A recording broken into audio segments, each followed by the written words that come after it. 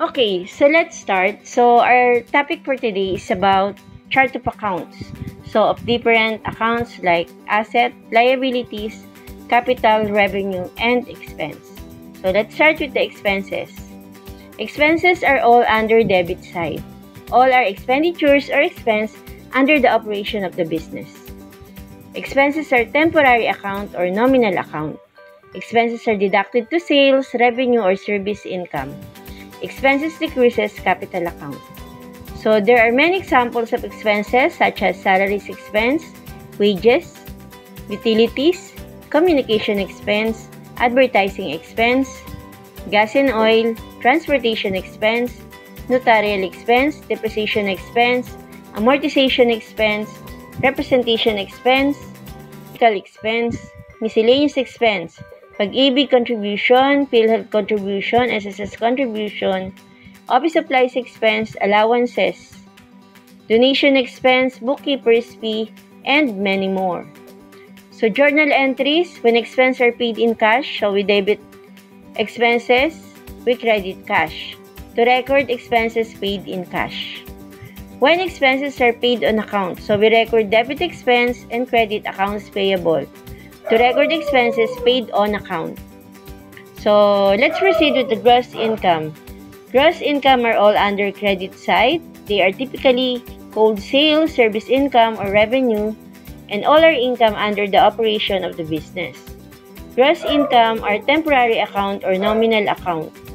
Gross income increases capital account. Example of gross income. So we have sales or net sales, service income or service revenue, gross income, revenue, journal entries that we can use when gross income are received in cash. So, debit cash, credit gross income. To record gross income received in cash from customer. When gross income are received on account, so we debit accounts receivable and we credit gross income. To record gross income received on account. Remember this, gross income minus expenses is equals to net income. And they are all under income statement or statement of operation. So, now let's proceed with the asset, liabilities, and capital. So, these three are all part of balance sheet. So, let's start with asset. Assets are all under debit side. All are assets or what the business owns. Assets are original account or real account. Assets are divided into current asset, non-current asset, and intangible asset. Assets increases capital account.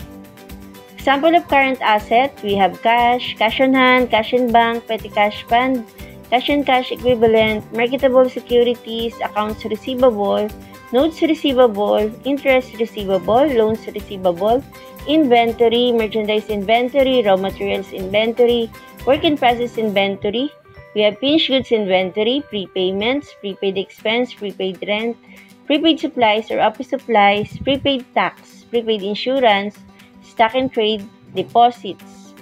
So example of non-current asset, we have land, property, building or plant, and equipment wherein they are composed of the following machineries, vehicles, heavy equipment, office equipment, tools and equipment, furniture and fixtures, and the contra account of non-current asset, we have accumulated depreciation.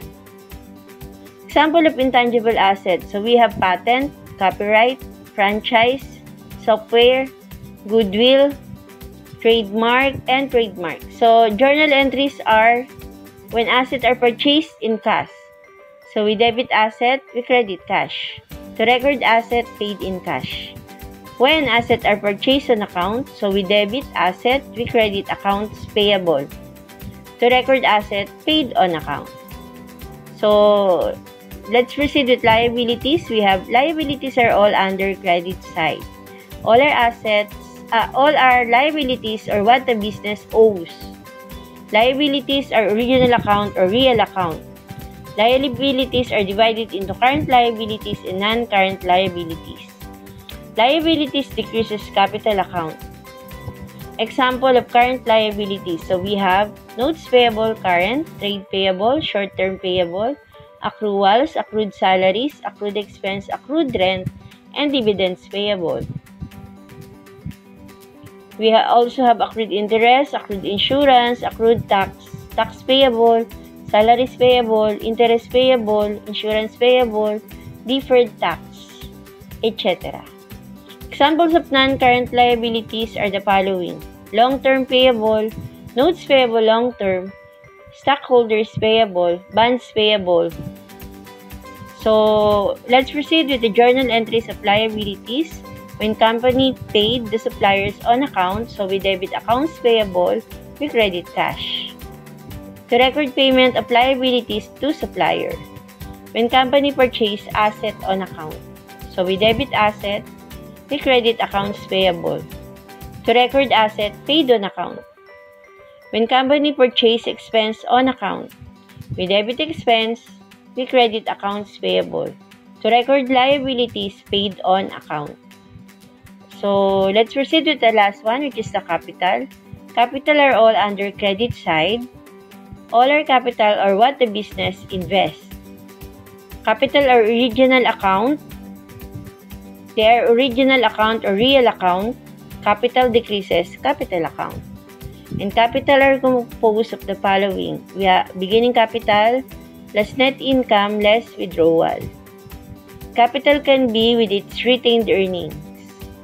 So, example of capital. So, we have capital, owner's equity, owner's capital. So, they are all part of sole proprietorship.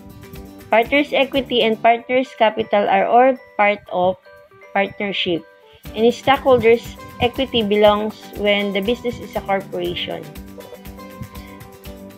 So, capital end, uh, uh, it is used uh, with the sole proprietorship and partnership.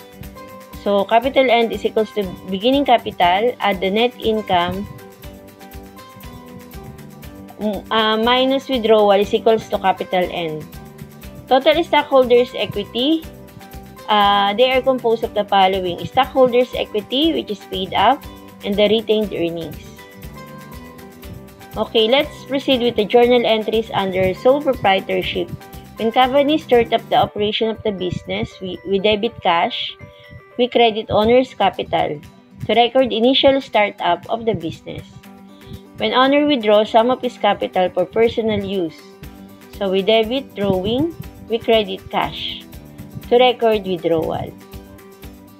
With regards to partnership, when companies start up the operation of the business, we debit cash, we credit capital, A capital, B capital, and C capital. So, we record the capital of all the partners. To record initial startup capital of the business.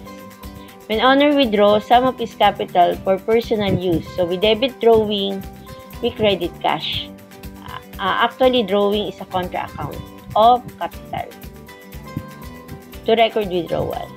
So last is the journal entries for the corporation. So when the company start up the operation of the business, we debit cash, we credit stockholders' equity to record initial startup of the business. When one of the stockholder withdraw his capital, so we debit stockholders' equity and we credit cash to record the withdrawal of stockholder on his business. Okay, so hope you understand all the charts of account. And bye guys, you will have accounting in due time. Happy lang. So I'm just hoping uh, matutunan nyo yan balang araw. Bye-bye!